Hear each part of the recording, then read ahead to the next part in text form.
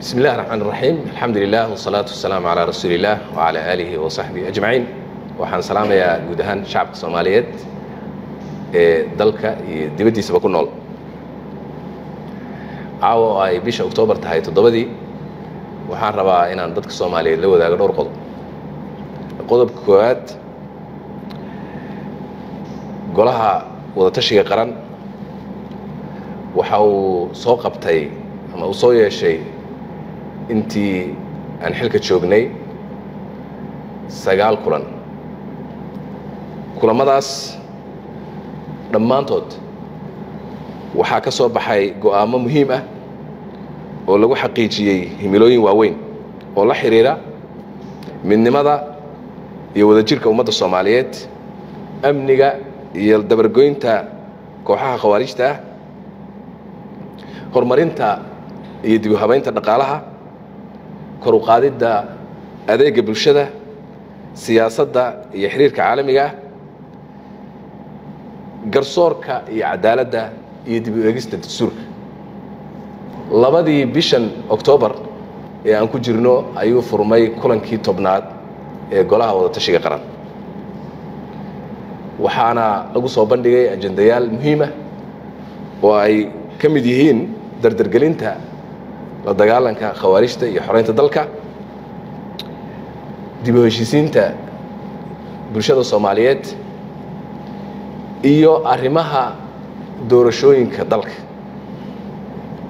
Haddaba waxaan rabaa inaan halkan ka caddeeyo shirkaasi weli waa socda madaxda ka soo qayb gashay shirka ee sharafta leh waxay ku jiraan la tashiyo la xidhiira qodobada qaarkood oo muhiim ah. Marka ay la tashiyadaasi dhammaadaanna waxaa la soo saari doonaa go'aamo iyo warmurtiyeed. Waxaan u rajaynayaa dhammaan dadka soomaaliyeed. Guul shirkana in sha allahu tacaala wuxuu ku soo dhammaan doonaa ama ku soo gebagaboobi doonaa? Guul ayuu ku soo gebagaboobi doonaa in sha allah. Intaas marka laga tago waxaan rabaa inaan u caddeeyo mar kale dadka soomaaliyeed inay naga go-an tahay ilaalinta midnimada gobnimada iyo qarannimada soomaaliyeed. Ilaalinta karaamada soomaaliyeed iyo inaan ka fogaanno wax kasta oo keeni kara kala qaybinta dadka soomaaliyeed. Waxaa naga go-an in dalka horay loo wado oo aan dib loo celin.